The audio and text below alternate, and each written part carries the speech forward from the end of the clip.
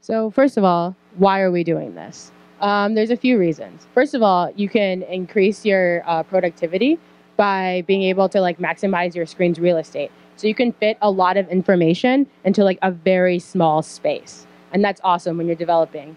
Um, also, like for example, you can show what the current version of Ruby that you're running or anything else. Um, you can get the status of a current directory, so you know if you're clean, if you're not, um, how many commits you're behind. Um, you can color code different pieces of information to make them really easy to find. You can even color code your prompt to make it easy to find.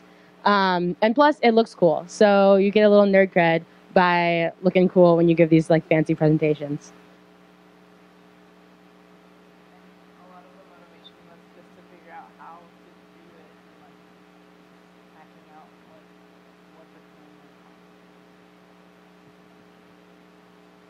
Okay, so the, what is the command line prompt? Um, first of all, there's a few variables, but the one we'll talk about here is the PS1 variable, and that one basically sets the prompt uh, for your command line. Um, and on a Mac, it usually looks like that. It has the host name, and then you know um, your the directory, and then your username and a dollar sign.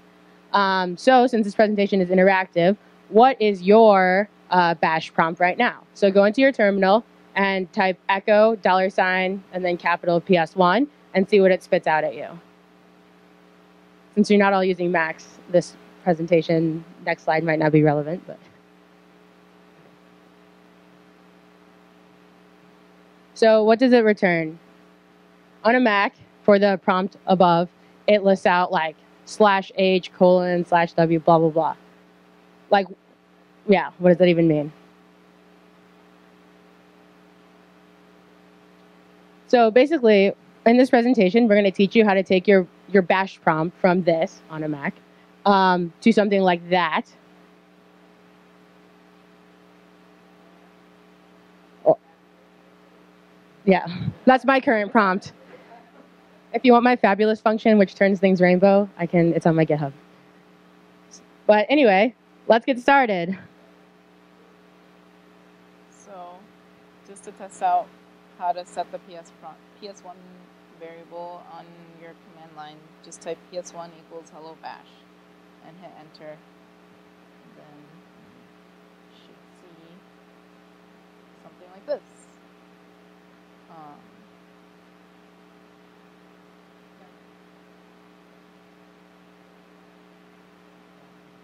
right. So it's a little scary, right? But at the same time, if you were to close your current session, it would go away. So we want to, yeah. Heart palpitations, right? Um, and so we want to show you how to persist those changes. So if you did want to persist changes, if you're not just trying to play around with your bash prompt and you're like, I've got something good going, I want to keep it. Um, yeah, exactly. Um, open your bash RC file um, in your terminal. So it's in your home directory. It's a dot uh, bash RC file in whatever editor of choice. Um, text editors we found don't really fare well because of like character encoding or some things that blow up. So I would use like a Vim or an Emacs um, if you can, um, or something else of choice. Um, and so basically, add a PS1. We're gonna set the PS1 in this example just to like two um, greater than signs, um, and then save the file. And then in order to apply it, you've got to source the file, um, and then that'll apply it in that uh, window. So do a source and then the bash RC file.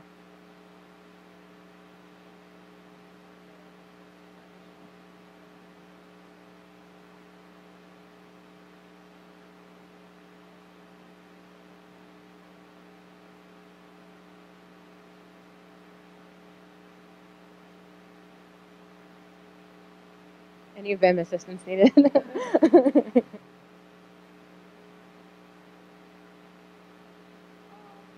It-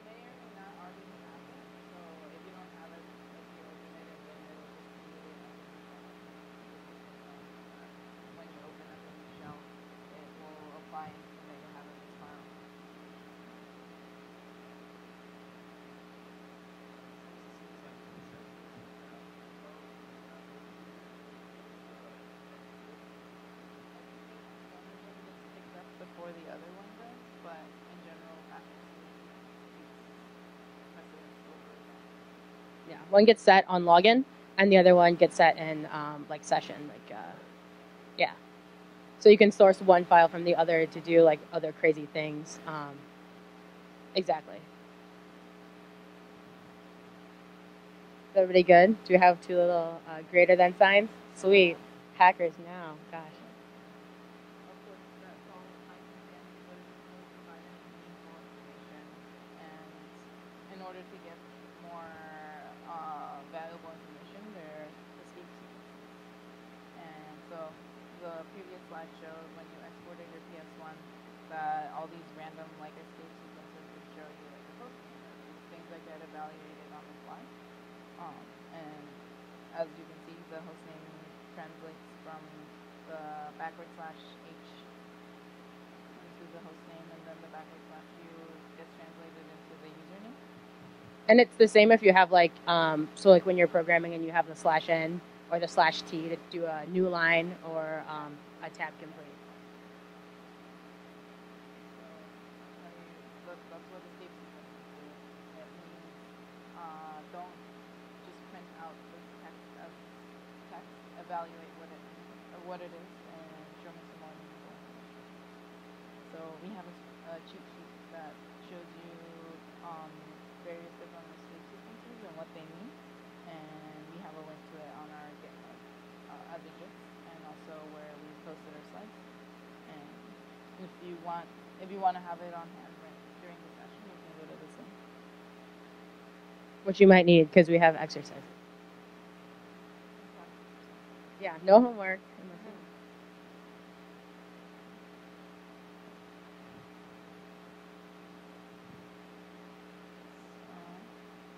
Is everybody type that? Can they see that?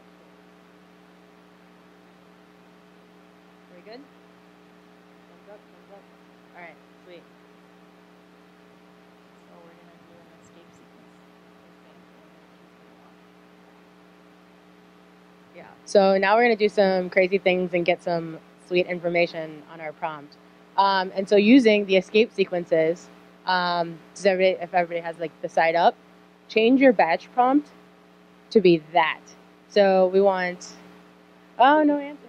Um, we want the time in parentheses. And then in another set of parentheses, we want your username and at sign, and then at your host, so your computer, um, and then a colon, and then your current working directory.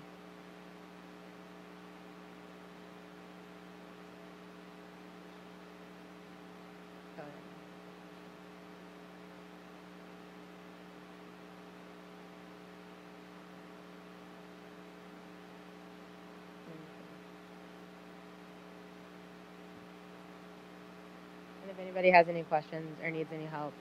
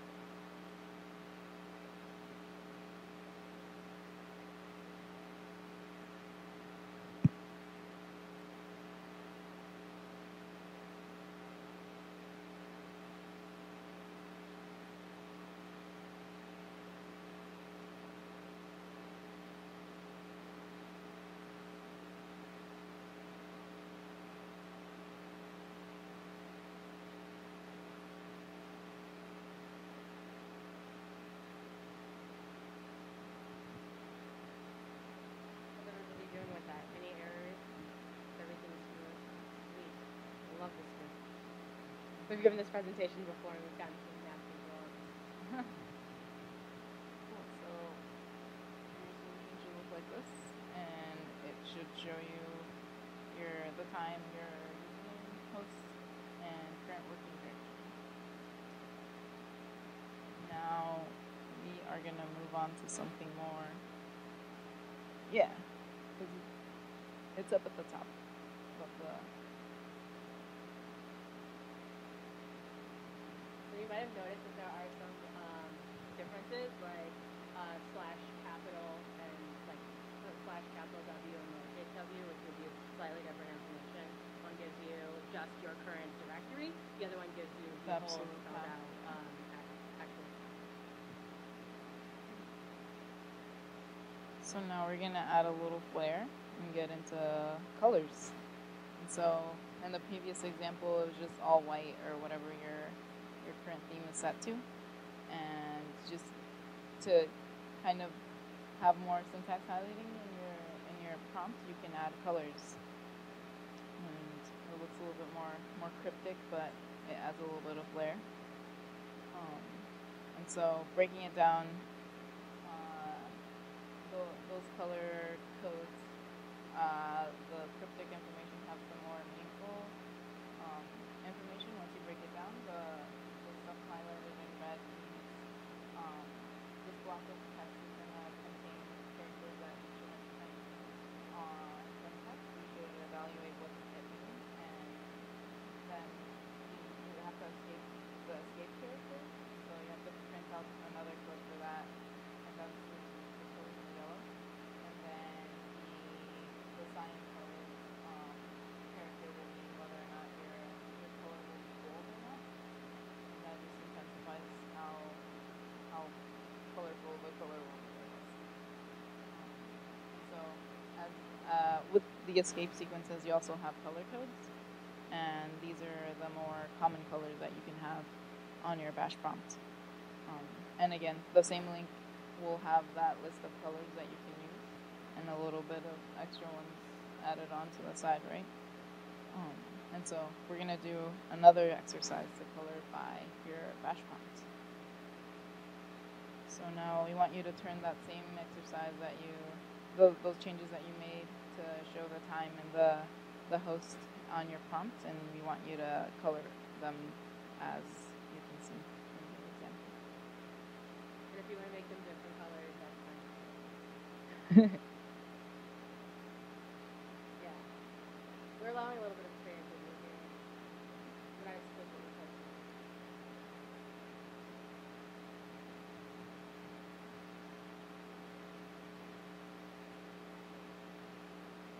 Uh, one note with color codes is um, they are not symmetric.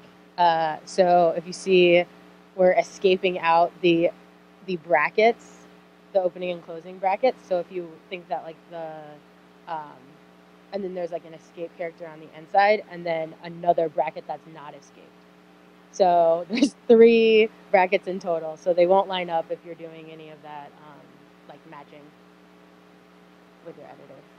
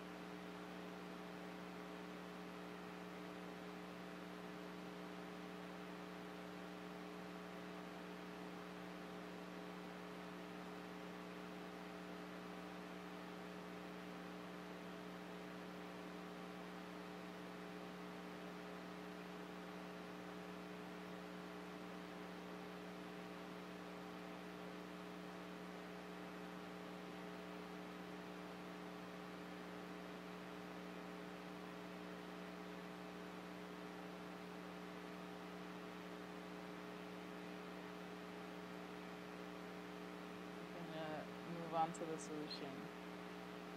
So I bet that was a lot of fun typing out right all those codes. Um, but that's what the the solution will look like when you want to add a little bit of color around each of the bits of information. And So if you finish typing it out and you now have this prompt, try and type something on your prompt and see what happens. What color is the text? Yep, it's the last color that you used. Uh, that's because we didn't tell you about the no color. so that'll basically reset uh, the color of your prompt back to whatever the default is. So, oh, there you go. There you go.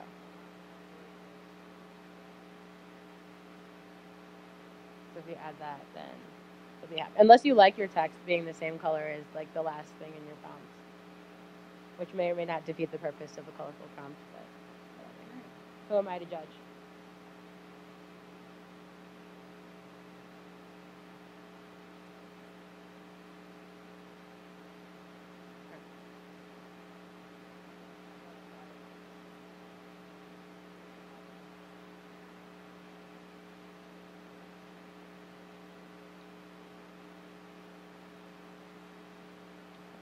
So variables. Uh, yeah, typing out all those colors is convoluted, and I don't like it because it is not symmetrical.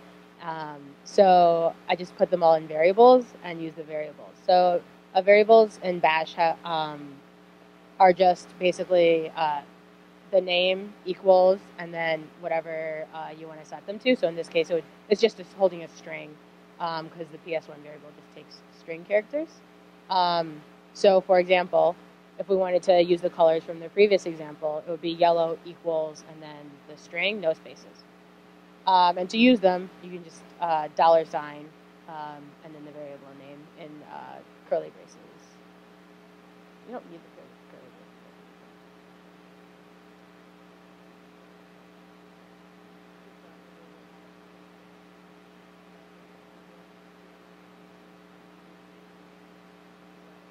what it is that you're using.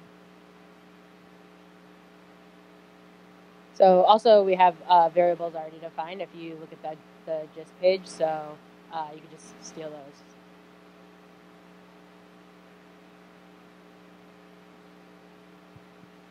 So now we want you to get creative and draw out what your ideal prompt would look like, and try to use the cheat sheets to to make it a reality.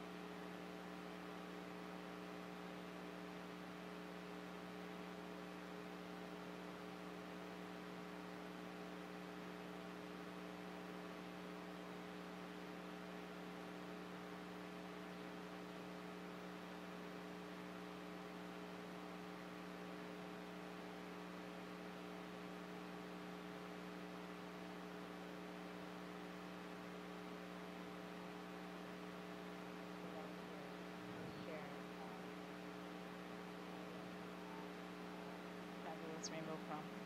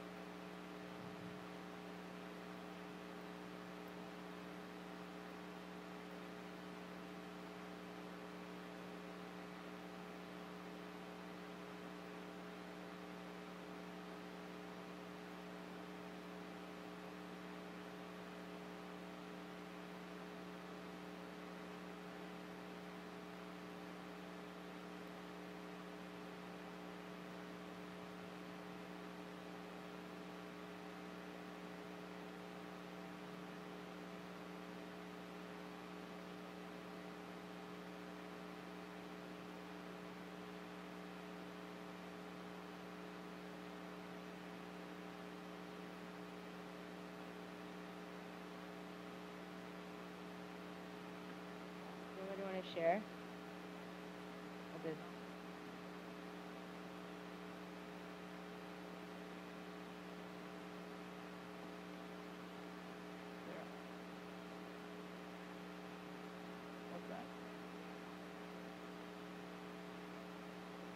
Oh.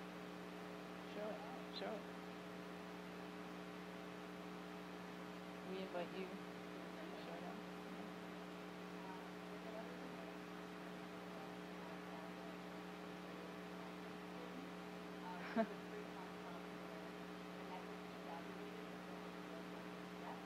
That's what allows you to do a lot of the fun things like uh, have you know um, get information um, and things like that. Um, i can show do you want me to plug in? Or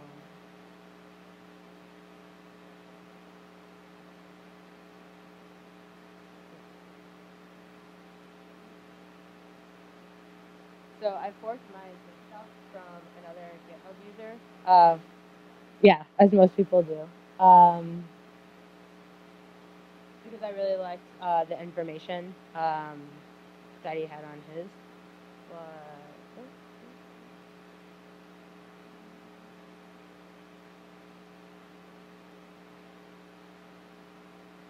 Okay, so uh, this is my bash prompt, uh, and basically I can give you a little. Yeah, I'll give you a little tour of why it is how it is.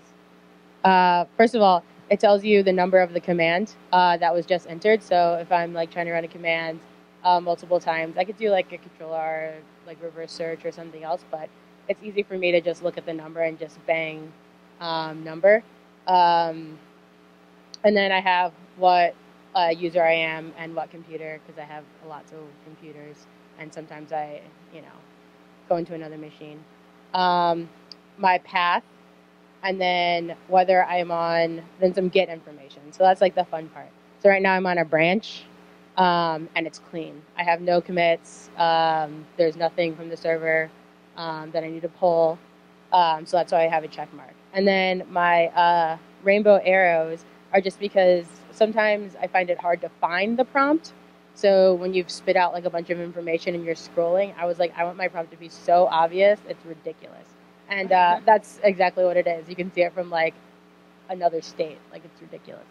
Um, so that's all on my. Uh, so I took the Git stuff from another user, and then I added my personal prompt on top of that, and so you can get that off of um, my GitHub.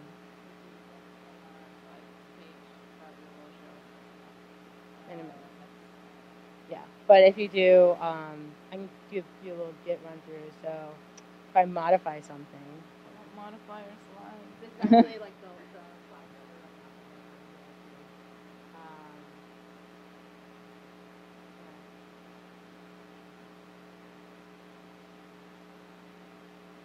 So now it says that I have one file that's not um, tracked. And so I can, you know, add it. And now I have one file that's added. Um, I can commit.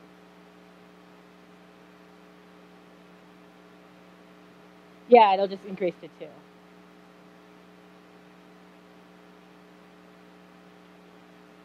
So, and then we'll add that. Then we have two. And then you can do that with multiple like commits. So,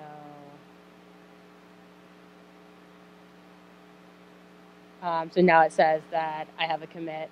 And so, for example, if Pam was to go onto this um, and be like, "Oh, I'm going to push something," then it would have an up and a down, um, and it's like really cool, funky, powerful uh, symbolism. I did change the colors from the one I forked because it just didn't fit with my color scheme. So, you know.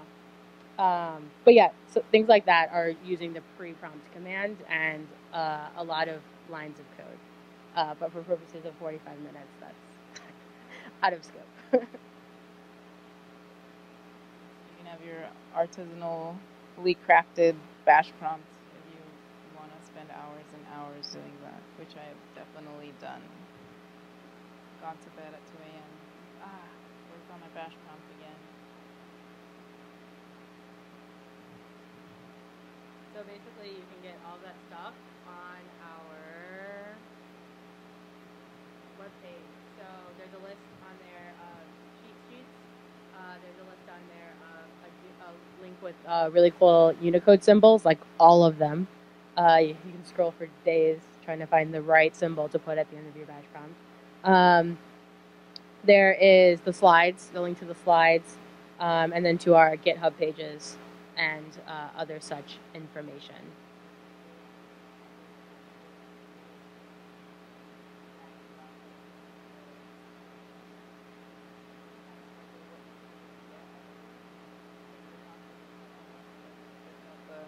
The, the string that you should set in your bash RC to get that prompt. Does anybody have any questions? Good, yeah. Yeah. The point of this presentation was just to empower you with the knowledge and tools to go forth and be nerdy, um, and then steal things wisely, so that when you fork somebody's, um, you know, prompt, then you understand like what goes behind it. Because uh, we found a lot of people would be like, "Oh yeah, your prompt is so cool," and they're like, "I don't know, I just copied and pasted." And I'm like, "You know, you could customize that copy and pasting, right? Like, change the colors, do all these symbols, and so." Um, response is usually, "Well, I just wanted the lightning bolt." um, so yeah, so now you know uh, what you can do, and the information is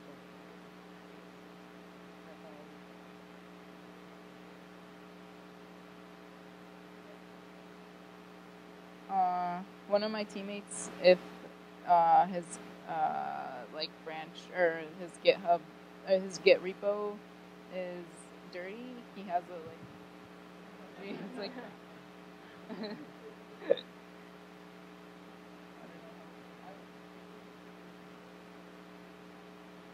yeah, just my prompt. I think people see my prompt and forget that theirs exists because they're like, "What the?"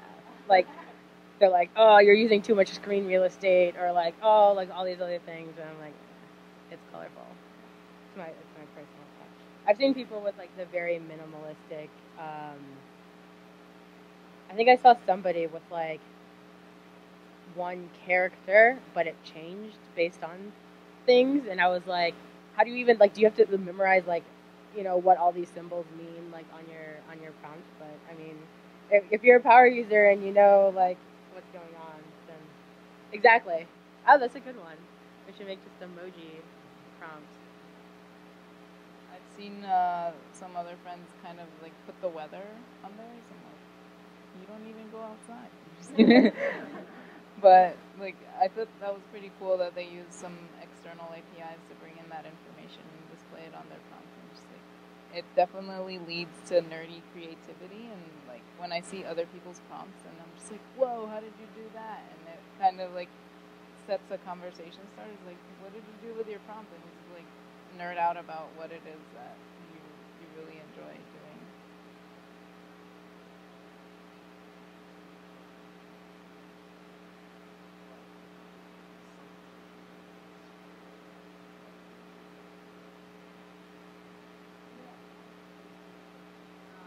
So it's basically just the same. It's just uh, bash. right? So it's just quick. Uh, you can use like all the if, all the functions from just bash, um, and then you just set those. Like for a conditional, you would set that in your free count command to um, refer to a string and set and set the ps1 variable to that. So your pre-prompt executes the function, which is about the string which is applied to that ps1. Uh, but you can use anything that has. So, like that's what um, my my fabulous function for a rainbow is just um, a function that takes whatever you input and prints it out. In, So, like a really basic example is just um, in your bash profile, you can say if bash RC exists, then source bash, bash RC. And, like that's how you would define a conditional to check for those those things.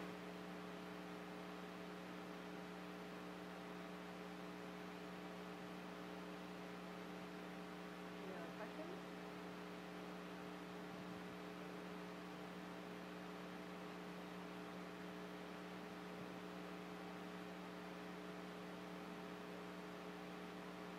Um, like with their prompts or Yeah, Yeah, um, it's basically the same um, fundamentals as the bash prompt, except it's um, some of the ex- escape sequences and things are different. But the principles in this presentation are the same applied to the Z shell. Um, but just, you know, we picked bash because it's most people use that.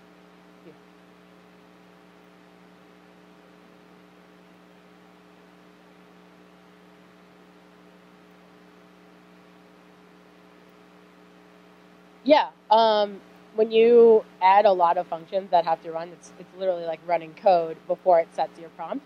So, you know, you type a command and before your prompt shows up, it's you're done executing the command that you um, wanted to evaluate, but like your prompt isn't done evaluating, so it just kind of pauses for a little bit. Um, that can happen sometimes too, even with, uh, especially with, I should note, uh, Git integration, right? So if you're way behind, it's going to have to like run through and get all this information, um, or if the server is slow, because it's literally connecting to the repo and saying, you know, do you have anything for me? Every time my prompt, um, I press enter on my prompt, it's asking, um, you know, a Git directory or the Git source. Um, so that can happen if you put a bunch of, of things in there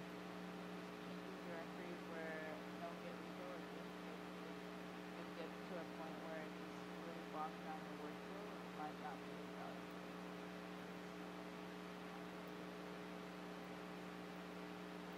Yeah. Rainbow's a really fast function. Let me tell you, I one. So. Um, but, yeah.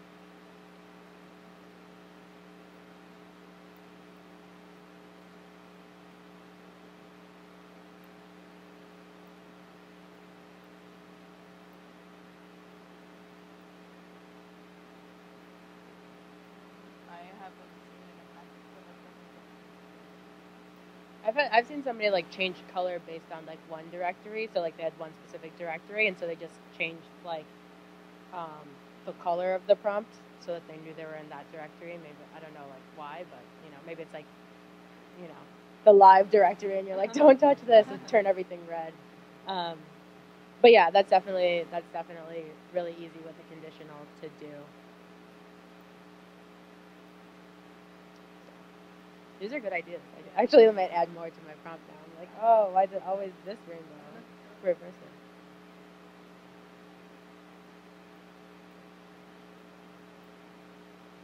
Simple pre-prompt. Uh,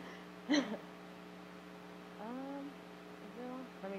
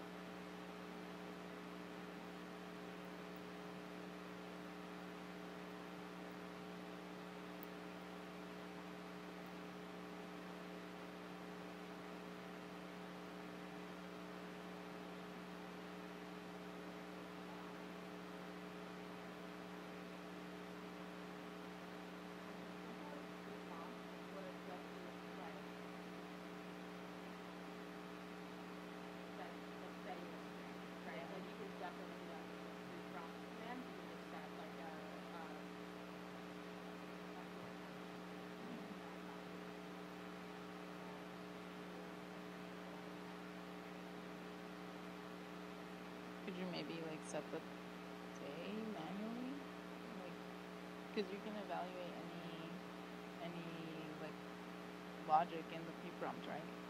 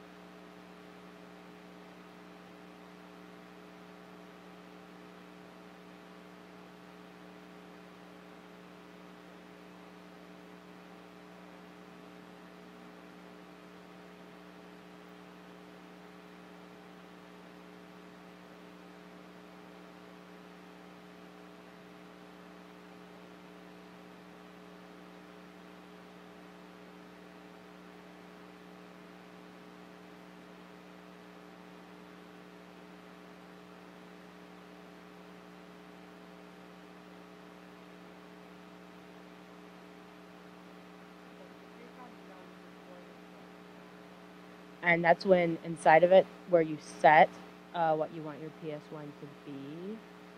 So I think that um, the simplest pre-prompt would just be the same as uh, setting a PS1, but PS1 will overwrite whatever your pre-prompt is. Um,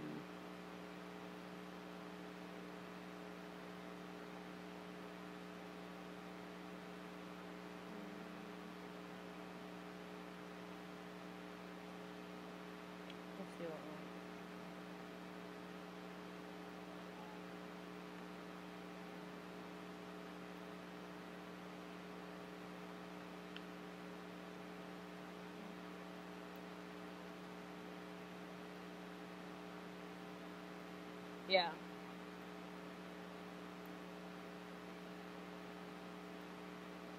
Yeah, my PS1 just taking over.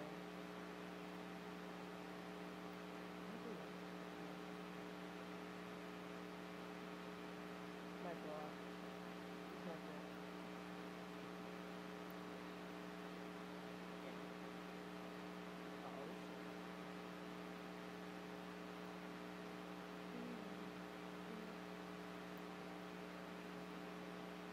Yeah, I don't know that what the simplest one would be, actually.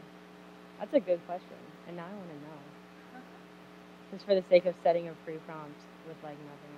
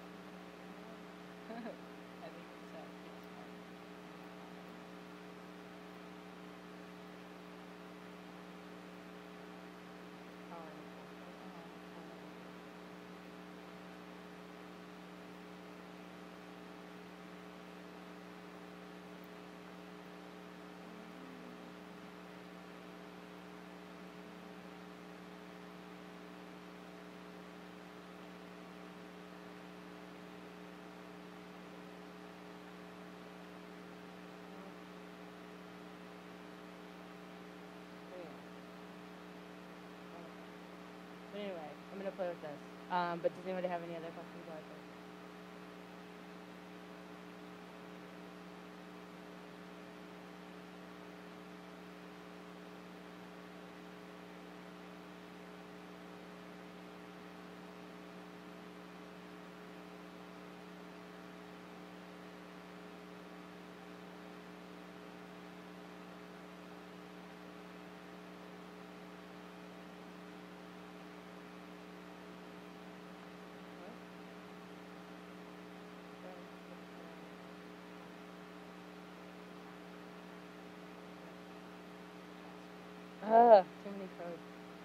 have